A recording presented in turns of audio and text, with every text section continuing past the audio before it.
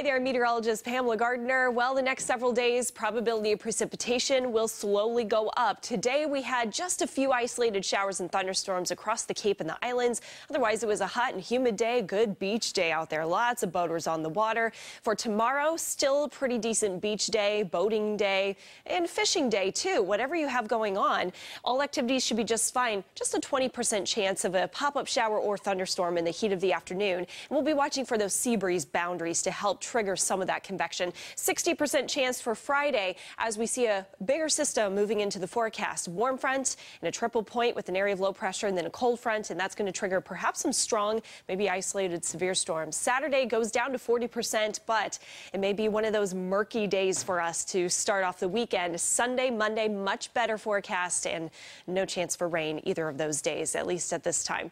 Here's the current weather analysis. We have humid conditions, area of low pressure just off the coast, and a little bit of a weak boundary did trigger some of those showers and storms across the Cape and Islands. There's a cold front draped to our north and to our west. That's going to bring in the 20% chance for rain tomorrow. High temperatures today were much warmer than the last couple days. Back to that heat. 85 for the high in Boston, 86 in Fitchburg, and some communities did get close to 90 degrees. Tonight we're down to 72. Partly cloudy and once again humid. Tomorrow, temperatures just as hot in the upper 80s from Beverly to Boston and Nashua, and nearing 90 degrees from Fitchburg to Worcester, a touch cooler, 84 degrees, but still very warm, very humid with the humidity factored in, by the way. It's going to feel like the low to mid 90s in most spots. Plymouth, 90 degrees. There is a brief chance of a pop up shower or storm in the heat of the afternoon. Again, primarily across those sea breeze boundaries. Cape and Islands good day to be off there. It'll be nice and dry. Temperatures in the 80s there. Beach and boating forecast near 90 degrees. The water temp 69 to 77 degrees. That low tide just before 10 o'clock in the morning.